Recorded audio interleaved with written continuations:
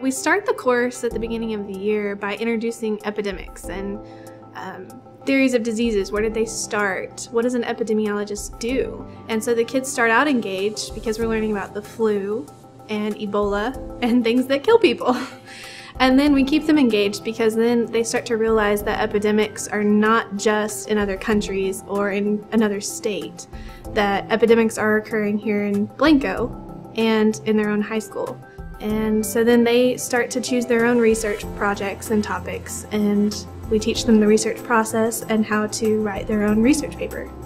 We really set up the design of what scientific research and design was all about through the lens of epidemiology. So, you know, first it was like a typical class, we learned what epidemiology was about. And then it becomes, the gains are really seen when the students are able to take a hold of that and do the research for themselves. So then it becomes a project-based learning where the students get to select their topic, collect the research, and then do a follow, you know, do a follow-up study, uh, which could be particularly relevant depending on the topic they select.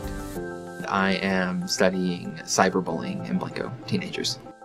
I'm studying sleep deprivation in teens. I'm studying apathy.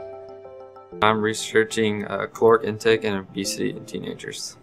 This class is extremely different than other science courses. Other science courses like physics and biology have pinpoint facts. You know, it's this or this, that's what you get.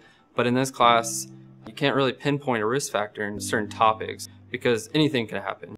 Other classes are like a crossword puzzle. Everything's there. You look for the things in there. This class is like a uh, jigsaw puzzle. You know everything's there, but you don't know how it goes together. And you have to solve, and each piece uncovers something else.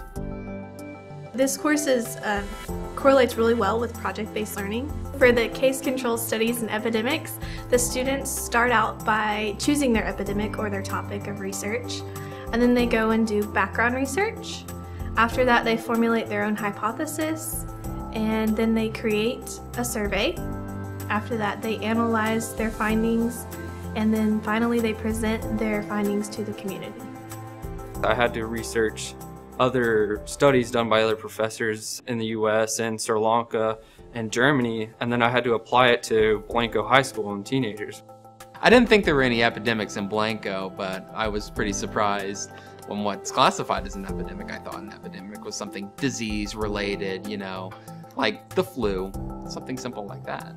Epidemics can include anything from psychological things like apathy or bullying, even. Anything that can affect the human body or the human mind is really an epidemic if it occurs on such a large scale. I realized that epidemics happen everywhere. Like in my small town of Blanco, Texas, there's epidemics going on. And in our own high school, there's epidemics. If you're the kind of person that likes to be independent and that likes to do work that really matters in the real world and not just work that only matters to get a good grade in the class, then you should definitely take this class. And it's fun to see stuff that actually could affect your community. Like it makes you feel like a good person. Like you're volunteering your time in class to research epidemics that are actually affecting your community where you live.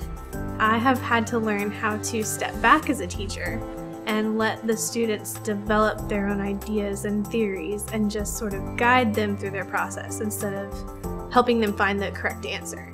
They started taking their own initiative to get their get their work done, get their assignment done because they were anxious to see what the conclusion was going to be. We're not really typically focused on covering just tons of information. What we're looking through is to teach skills that can be useful in a post-secondary option. The work that the students are doing will directly affect their community because they're trying to find the source of an epidemic. Where is this coming from? Why is this happening? And ultimately, the goal is to present their findings to the community in hopes that they can have a positive impact on their environment.